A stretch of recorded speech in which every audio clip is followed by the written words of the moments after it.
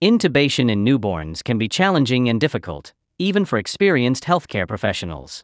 This is due to various factors, including the small size of the airway, anatomical variations, and potential for airway obstruction. Before intubation, one to assess respiratory status, including respi rate, WOB, SpO2, and heart rate.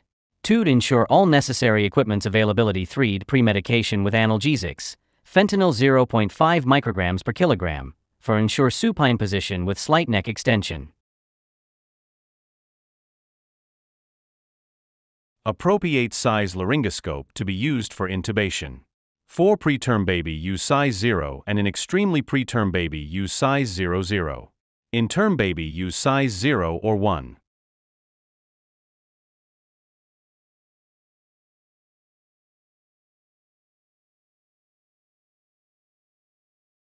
Intubation should be done within 30 seconds without any trauma to the larynx and without causing bradycardia or desaturation. Appropriate size ET tube should be used as per gestational age or birth weight.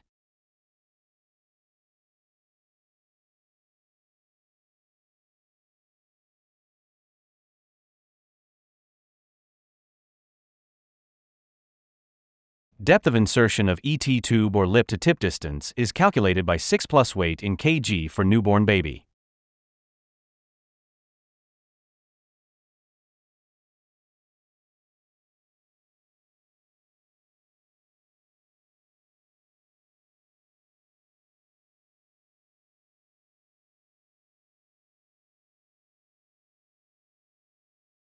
Fixation of ET tube is done with Tegaderm skin protective adhesive, followed by double fixation with 2Y shaped Dynaplast adhesive.